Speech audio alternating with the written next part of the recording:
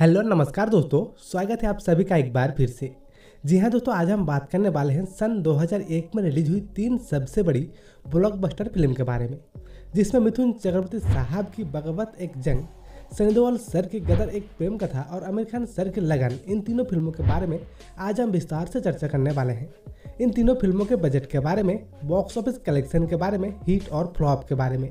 और देखेंगे कि इन तीनों फ़िल्मों में से कौन सी फ़िल्म ने की थी बॉक्स ऑफ़िस पर सबसे ज़्यादा कलेक्शन और किसने मारी थी बॉक्स ऑफ़िस पर बाजी।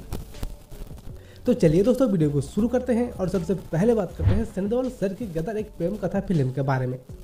15 जून 2001 में रिलीज़ हुई थी romantic action drama film Gadar Ek Prem Katha, जिसे डायरेक्ट किया था अनिल शर्मा ने और प्रोड्यूस किया था नितिन केनी ने। इस फ़िल्म में सनी देओल अमीषा पटेल और अमरीश पुरी ने अहम भूमिका निभाई थी। और इस फ़िल्म की कहानी को लिखा था शक्तिमान तलवार ने और म्यूज़िक दिया था उत्तम सिंह ने। और वही अगर बात करें इस फ़िल्म के बजट और बॉक्स ऑफ़िस कलेक्शन के बारे में तो दोस्तों, इस फ़िल्म को बनवाने के लिए उस समय पर करीब 19 करोड़ रुपए का खर्च आया था। और इस फ़िल्म ने बॉक्स ऑफ़िस इंडिया पर सतहत्तर करोड़ और पूरे वर्ल्ड में से एक सौ चौंतीस करोड़ रुपए का कारोबार किया था। और उनकी ये फ़िल्म बॉक्स ऑफ़िस पर ऑल टाइम ब्लॉकबस्टर साबित हुई थी।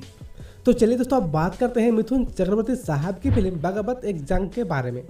एक फरवरी 2001 में रिलीज़ हुई थी action romantic drama film Baghaawat Ek Jung. इस फ़िल्म में हमें मिथुन चक्रवर्ती, आदित्य पंचोली, मोहन जोशी, ऋतिका सिंह और दीपक सिरकर नज़र आए थे। और इस फ़िल्म को डायरेक्ट किया था दीपक पवार ने तो प्रोड्यूस भी उन्होंने ही किया था। और बजट था इस फ़िल्म का तकरीबन सात करोड़। और इस फ़िल्म ने कमाए थे बॉक्स ऑफ़िस इंडिया पर तीन करोड़ बीस लाख और पूरे वर्ल्ड में से चार करोड़ अस्सी लाख रुपए का कारोबार किया था। और उनकी ये फ़िल्म बॉक्स ऑफ़िस पर डिजास्टर साबित हुई थी। तो चलिए दोस्तों, अब बात करते हैं आमिर खान की लगन फ़िल्म के बारे में। 15 जून 2001 में रिलीज़ हुई थी म्यूजिकल स्पोर्ट ड्रामा फ़िल्म लगान और इस फ़िल्म को डायरेक्ट किया था आशुतोष गौरिकर ने और प्रोड्यूस किया था आमिर खान ने।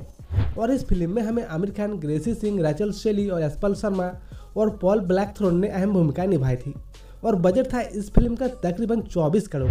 जिसने बॉक्स ऑफ़िस इंडिया पर 35 करोड़ और पूरे वर्ल्ड में से 65 करोड़ रुपए का कारोबार किया था और ये फ़िल्म बॉक्स ऑफ़िस पर सुपर हिट साबित हुई थी। तो दोस्तों, अब अगर बात करें बाजी के बारे में तो दोस्तों, यहाँ पर बाजी सनी देओल सर की फ़िल्म गदर एक प्रेम कथा ने मारी थी। तो दोस्तों, आपको इन तीनों फ़िल्मों में से कौन सी फ़िल्म सबसे ज़्यादा पसंद है, आप हमें नीचे कमेंट सेक्शन में ज़रूर बताइए। धन्यवाद।